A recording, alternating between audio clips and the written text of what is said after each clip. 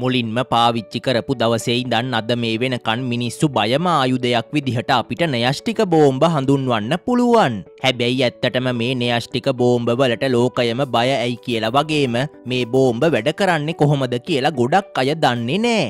අන්න ඒ විදිහට අද මේ වීඩියෝ එකෙන් අපි නයෂ්ටික බෝම්බයක් ඇත්තටම වැඩ කරන්නේ කොහොමද කියලා වගේම තවත් මේ නයෂ්ටික බෝම්බ වගේම භයානකම ආයුධයක් වැඩ කරන හැටි ගැනත් කතා කරමු.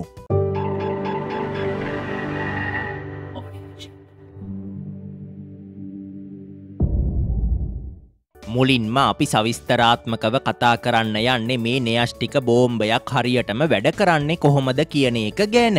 ඒ විදිහට අපි මේ නයෂ්ටික බෝම්බයක් හදන්න හේතුවනේ කොහොමද කියලා මුලින්ම ඉතිහාසයෙන් හොයලා බලලයිමු.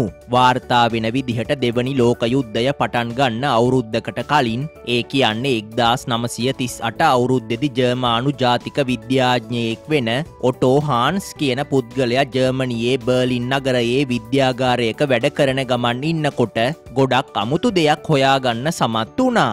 ඒ විදිහට මේ ඕනම දෙයක් හැදිලා තියෙන පරමාණු වටේ ඉලෙක්ට්‍රෝන කැරකෙනකොට නියුට්‍රෝන සහ ප්‍රෝටෝන පරමාණුව මැද්දේ එකට එකතු වෙලා තියෙනවා කියලා ඔබ අනිවාර්යෙන්ම පාසලෙන් ඉගෙනගෙන ඇති. මෙන්න මේ නියුට්‍රෝන සහ ප්‍රෝටෝන වෙන් කළොත් එක පාරටම එතනින් අති විශාල ශක්තියක් නිපද වෙනවා කියලා තමා අර විද්‍යාඥයා හොයාගන්න සමත් වුණේ. හැබැයි මේ සොයා ගැනීම ජර්මණයේ විද්‍යාඥයන් කරා කියලා දැනගත්තට පස්සේ ඒ කාලේ ඇමරිකාවේ ජනාධිපති වුණ ෆ්‍රෑන්ක්ලීන් ඩී රූස්වේල්ඩ් කියන පුද්ගලයා ඔවුන් මේකෙන් සුපිරි ආයුධයක් හදයි කියලා හිතලා ඊට කලින් එහෙම ආයුධයක් හදන්න කියලා තමන්ගේ ඇමරිකාවේ විද්‍යාඥයන්ට උපදෙස් ලබාදීලා තියෙනවා. අන්තිමේට එක්දස් නමසිය හතලිස් එක අවුරුද්ධ දොළොස්වනි මාසේ ඇමරිකාවත් දෙවනි ලෝක යුද්ධයට එකතු වුණ නිසා මේ උත්සාහයන් දෙගුණ තෙගුණ වෙලා ඇමරිකාවේ විද්‍යාඥයන් වැඩ කරන්න පටන් ගත්තා. ඒ විදිහට මුලින්ම මෑන් හැටන් ව්‍යාපෘතිය කියලා බෝම්බයක් නිෂ්පාදනය කරන්න පටන් ගත්ත ඇමරිකාව අන්තිමේට එක්දස් නමසිය හතලිස් පහවුරුද්ධ ජූලි මාසෙ දාසය වෙනිදා පළවෙනි න්‍යෂ්ටික බෝම්බය නිෂ්පාදනය කරලා මේක සාර්ථකව පුපුරවල බලන්නත් සමත් වුණා. අන්න ඊට පස්සෙ තමා දෙවනි ලෝක යුද්ධය අවසාන වෙන්න ඔන්න මෙන්න තිබුණත් ජපානය යටත් වෙන එක ප්‍රතික්ෂේප කරපු නිසා ඇමරිකාව ලිටල් බෝයි සහ ෆැට්මෑන් කියන නමින් හඳුන්වන පරමාණු බෝම්බ දෙකක් ජපානයට දාලා මහා විනාශයක් සිදු කළේ. අන්න ඒ විදිහට තමා මේ නයෂ්ටික බෝම්බවල ඉතිහාසය ගැන අපිට මුලින්ම කතා කරන්න පුළුවන් වෙන්නේ. අන්න ඒ විදිහට මේ නයෂ්ටික බෝම්බයක් ගැන කතා කළොත් මේ නයෂ්ටික බෝම්බ අපිට සාමාන්‍ය ටිකක් දිග හැඩයකින් තියෙන සබ්මැරීන් එකකින් නිකුත් කරන ටෝපිඩෝවක් හැඩයෙන් තමා බලාගන්න පුළුවන් වෙන්නේ. හැබැයි භයානකම දේවල් හැංගිලා තියෙන්නේ මේ බෝම්බය ඇතුළෙ කියලා අපිට කියන්න පුළුවන්. ඒ විදිහට මේ නයෂ්ටික බෝම්බයක් ඇතුළෙ තියෙන භයානකම දේ තමා විකිරණශීලී ද්‍රව්‍ය කියලා හඳුන්වන්නේ. මේ නයෂ්ටික බෝම්බයක් ඇතුළෙ තියෙන විකිරණශීලී ද්‍රව්‍ය විදිහට අපි කවුරුත් අහලා තියෙන යුරේනියම් වල එක්තරා වර්ගයක් වෙන යුරේනියම් දෙසිය තිස් පහ කියන වර්ගය භාවිතා කරනවා. හැබැයි සමහර අවස්ථාවල මේ නයෂ්ටික බෝම්බ මැද්දට දාන විකිරණශීලී ද්‍රව්‍ය විදිහට ප්ලූටෝනියම් කියන මූලද්‍රව්‍යය භාවිතා කළත් මේක ස්වබාදහමෙන් අපිට ගොඩක් අඩුවෙන් හොයාගන්න තියෙන මූලද්‍රව්‍යයක් නිසා දැන් යුරේනියම් තමා ගොඩක් අවස්ථාවල මේ නයෂ්ටික බෝම්බ වලට භාවිතා කරන්නේ. ඒ විදිහට මේ යුරේනියම් දෙසිය තිස් පහ බෝම්බයක් ඇතුළට ඇතුල් කලාට පස්සේ නිකන්ම මේ නයෂ්ටික බෝම්බය පුපුරලා යන්නේ නෑ. අන්න ඒ පුපුරණ ක්‍රියාවලිය සිදුවෙන්න නම් සරලම විදිහට කිව්වොත් මේක ඇතුළෙ තියෙන විකිරණශීලී යුරේනියම් ද්‍රව්‍ය ගොඩක් අධික පීඩනයකින් තෙරපෙන එක සිද්ධ වෙන්න ඕන. අන්න ඒක සිදු කරන්න සාමාන්‍යයෙන් මේ නයෂ්ටික ද්‍රව්‍ය බෝම්බය ඇතුළේ පුංචි ගෝලයක් වගේ එකක් ඇතුළේ සිර කරලා පිටතින් පුංචි පිපිරවීමක් කරන්න වෙනමම පුපුරණද්‍රව්‍ය මේවා නිෂ්පාදනය කරන පුද්ගලයන් ඇතුල් කරලා තියෙනවා. අන්න ඒ විදිහට බෝම්බය අදාළ පුපුරන්න ඕන ස්ථානයට දැම්මට පස්සේ අර ගෝලයට පිටතින් තියෙන පුපුරණද්‍රව්‍ය මුලින්ම පුපුරලා ගෝලය ඇතුළෙ තියෙන නයෂ්ටික ද්‍රව්‍ය තදින් තෙරපුුවට පස්සෙ තමයි ඇතුළේ ඇත්තම නයෂ්ටික ප්‍රතික්‍රියාවක් සිද්ධ වෙන්න පටන් අරන් නයෂ්ටික බෝම්බයක් පුපුරලා යන තත්ත්වයට පත්වවෙන්නේ.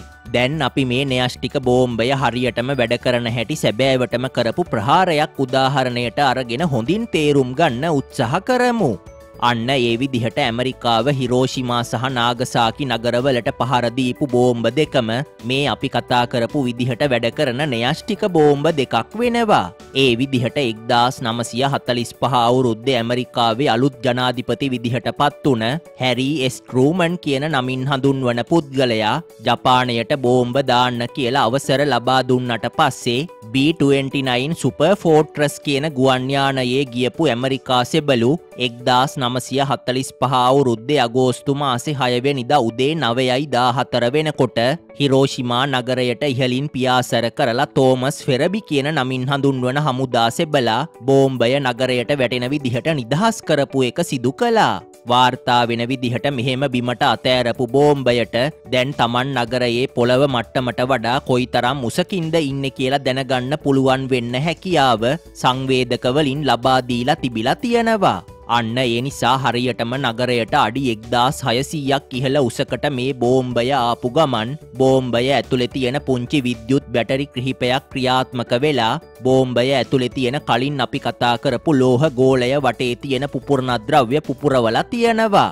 ඊට පස්සේ ඒ පිපිරීමේ බලය නිසා ගෝලය ඇතුළෙ තිබුණ නයෂ්ටික ද්‍රව්‍ය අධික තෙරපීමකට ලක් වෙලා ඇතුළෙ තියෙන විකිරණශීලී ද්‍රව්‍ය ප්‍රතික්‍රියා කරන්න පටන් අරන් තමා නයෂ්ටික බෝම්බය පුපුරල යන්න පටන් ගත්තේ. ඒ විදිහට නයෂ්ටික ද්‍රව්‍ය අවසාන වෙන කන්ම ප්‍රතික්‍රියාව සිදුවෙවී අති විශාලව ශක්තියක් මේ න්‍යෂ්ටික බෝම්බයකින් පිට කරන නිසා තමා මේවා ගොඩක් භයානක බෝම්බ වර්ගයක් බවට පත්වෙන්නේ. අන්න ඒ විදිහට මේ හිරෝෂිමා නගරයට ඉහලින් පුපුරපු නයෂ්ටික බෝම්බය නිසා වර්ග කිලෝමීටර් තුනක විතර භූමි ප්‍රමාණයක තිබුණ සියලුම දේවල් අලු වෙලා ගියා වගේම ඊටත් වඩා ගොඩක් දුර හිටපු මිනිස්සුන්ටත් පිපිරීමෙන් විශාල බලපෑමක් ඇති වුණා. ඒ විදිහට පාපන්දුවක් තර මේ ප්‍රමාණයට හදපු ගෝලයක් ඇතුළෙ තිබුණ විකිරණශීලී නයෂ්ටික ද්‍රව්‍යවලින් තමා මේ තරම් විනාශයක් ඒ කාලයේ ඇමරිකාව ජපානයට කරන්න සමත් වනේ. දැන් ඔබට මේ නයෂ්ටික බෝම්බයක් හරියටම වැඩ කරන්නේ කොහොමද කියලා හොඳින් පැහැදිලි වෙනව ඇති. හැබැයි මේ ලෝකයේ තියෙන තවත් එක බෝම්බ වර්ගයක් නයෂ්ටික බෝම්බ වලටත් වඩා භයානක වෙනවා. අන්න ඒ බෝම්බ වර්ගය තමා මේ හයිඩ්‍රජන් බෝම්බ කියන නමින් හඳුන්වන්නේ. අන්න ඒ විදිහට දැන් අපි ඒ හයිඩ්‍රජන් බෝම්බ වැඩ කරන්නේ කොහොමද කියලා වගේම නයෂ්ටික බෝම්බ වලට වඩා මේ හයිඩ්‍රජන් බෝම්බ භයානක ඇයි කියලා කතා කරමු. ඒ විදිහට හයිඩ්‍රජන් බෝම්බ ගොඩක් අපූරු විදිහකට තමා සාමාන්‍ය න්‍යෂ්ටික බෝම්බත් එකතු කරගෙනම ක්‍රියා කරන්නේ. අන්න ඒ විදිහට උදාහරණයක් ගැන කතා කළොත් මේ හයිඩ්‍රජන් බෝම්බයක් ඇතුළේ නයෂ්ටික බෝම්බයක් වගේම ලිතියම් හයිඩ්‍රයිඩ් කියන නමින් හඳුන්වන සංයෝගයත් වෙනම කොටස් දෙකක පිහිටලා තියෙනවා. හැබැයි මේ හයිඩ්‍රජන් බෝම්බය ඇතුළෙ තියෙන නයෂ්ටික බෝම්බයේ ප්‍රබල බව කලින් අපි කතා කරපු නයෂ්ටික බෝම්බයක් තරම් ඇත්තේ නෑ. ඒ වනත් මේ හයිඩ්‍රජන් බෝම්බය ඇතුළෙ තියෙන නයෂ්ටික බෝම්බය මුලින්ම කලින් අපි කතා කරපු විදිහටම පුපුරවල හැරියට පස්සේ ඒකෙන් නිර්මාණය වෙන තාපය පුළුවන් තරම් අනිත් කුටීරයේ ගබඩා කරලා තියෙන ලිතියම් හයිඩ්‍රයිඩ් වලට ලබා දෙනවා. මේක සිදු කරන්න නයෂ්ටික බෝම්බය සහ හයිඩ්‍රජන් බෝම්බය ගොඩක් ඝනකම ලෝහ කුටියක් ඇතුළේ ගබඩා කරලා තමා හයිඩ්‍රජන් බෝම්බය ඇතුළට ඇතුල් කරලා තියෙන්නේ. ඒ විදිහට නයෂ්ටික කොටස පුපුරලා ගියාට පස්සේ ඇති වෙන තාපය නිසා හරියටම අපේ සූර්ය ඇතුළේ සිදුවෙනවා වගේ අර ලිතියම් හයිඩ්‍රයිඩ් වල තියෙන හයිඩ්‍රජන් අනු නයෂ්ටික ප්‍රතික්‍රියාවකට ලක්වෙලා හීලියම් බවට පත්වෙලා අධික ශක්තියක් නිකුත් කරනවා. අන්න ඒ ශක්තියෙන් නැතිවෙන පිපුරුන් බලයෙන් තමා මේ හයිඩ්‍රජන් බෝම්බ ක්‍රියා කරන්නේ. ඒ විදිහට මේ බෝම්බයක් ඇතුළේ නයෂ්ටික පිපිරීමක් සහ හයිඩ්‍රජන් සම්බන්ධ විල යන ප්‍රතික්‍රියාවකුත් වෙන නිසා සාමාන්‍ය නයෂ්ටික බෝම්බවලට වඩා අති විශාල බලයක් මේ බෝම්බවලින් නිකුත් කරන්න පුළුවන්.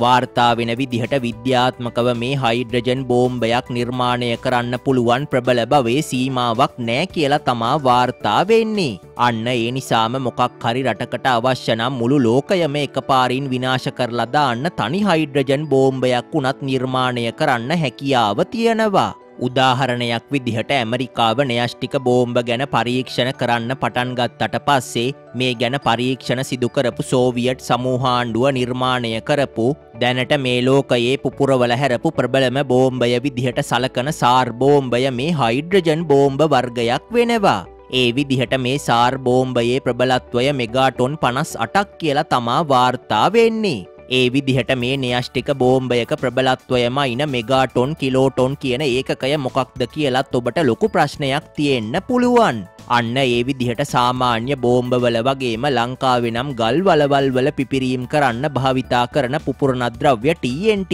කියන නමින් තමා හඳුන්වන්නේ. මේ TNT කිලෝග්‍රෑම් දාහක් එක පාර පුපුරවල හැරියොත් ඇතිවෙන බලය කිලෝටොන් එකක් විදිහට සලකනවා. අන්න ඒ විදිහට ජපානයේ හිරෝෂිමා නගරයට අතෑරපු පරමාණු බෝම්බය කිලෝටොන් පහළවක ප්‍රබලත්වයකින් සමන්විත වෙන එකෙන් මේ බෝම්බයේ බලයම ලබාගන්න TNT කිලෝග්‍රෑම් පහළොස්දාහක් පුපුරවන්න වෙනවා කියලා දැන් ඔබට පැහැදිලි වෙනව ඇති. හැබැයි හිරෝෂිමා බෝම්බයේ බර කිලෝග්‍රෑම් හාරදා සටසීයක් විතරක් වුණ නිසා පුංචි බරකින් කොයි තරම් ලොකු බලයක් මේ පරමාණු බෝම්බ නිසා ලබාගන්න පුළුවන්ද කියලා දැන් ඔබට පැහැදිලි වෙනව ඇති. ඒ විදිහටම මෙගාටොන් එකක් කියලා කියන්නේ සාමාන්‍ය TNT ටොන් මිලියනයක් එක පාර පුපුරවල හරිනවට සමාන වෙඩි බලයක් නිසා සාර්බෝම්බයේ මෙගාටොන් පනස් අටක වෙඩි බලය ලබාගන්න හිතාගන්න බැරි තරම් පුපුරණද්‍රව්‍ය ප්‍රමාණයක් සාමාන්‍ය පුපුරණද්‍රව්‍යවලින් අපිට පුපුරවන්න සිද්ධ වෙනවා. හැබැයි දැනට ලෝකයේ ප්‍රබලම බෝම්බය විදිහට සලකන රුසියාව නිර්මාණය කරලා තියෙන හයිඩ්‍රජන් බෝම්බයක ප්‍රබලත්වය මෙගාටොන් සීයක් නිසා එතකොට ඒ බෝම්බය කොයි තරම් ප්‍රබලද කියලා ඔබට නිකන්ම හිතාගන්න පුළුවන් වෙනව ඇති. අද මේ වීඩියෝ එකෙන් අපි කතා කළේ නයාෂ්ටික බෝම්බයක් වැඩ කරන්නේ කොහොමද කියලා වගේම ඊටත් වඩා ප්‍රබල බෝම්බ වර්ගයක් වෙන හයිඩ්‍රජන් බෝම්බත් වැඩ කරන හැටි ගැන. ඒ විදිහට දැන් ඔබට මේ බෝම්බයක් ඇතුළෙ තියෙන්නේ මොනවද ඒවා පුපුරන්නේ කොහොමද වගේම පිපිරුණාට පස්සේ ශක්තිය නිකුත් වෙන්නේ කොහොමද කියලා හොඳින් පැහැදිලි වෙනව ඇති. ඒ විදිහට අද මේ වීඩියෝ එකෙන් අපි කතා කරපු නයෂ්ටික බෝම්බයක් වැඩ කරන්නේ කොහොමද කියලා වගේම ඊටත් වඩා ප්‍රබල බෝම්බ වර්ගයක් වෙන හයිඩ්‍රජන් බෝම්බ වැඩ කරන හැටි අතරින් වැඩියෙන්ම ඔබ පුදුම වුණේ මොන බෝම්බය වැඩ කරන හැටි ගැන විස්තර දැනගෙනද කියලා පහලින් අපිට කමෙන්ට් කරලා කියන්න. ඒ වගේම මේ වීඩියෝ එක හොඳයි නම් දැනුමක් ලැබුණ කියලා හිතනවනම් වීඩියෝ එකට ලයික් කරන්න කමෙන්ට් කරන්න වගේම ෂෙයා කරලා අපිට සහයෝගයක් දෙන්න අමතක කරන්න එපා. මේ වගේම දැනුමගේන තවත් අලුත්ම වීඩියෝ එකකින් අපි ඉක්මනට මුණ ගැහෙමු.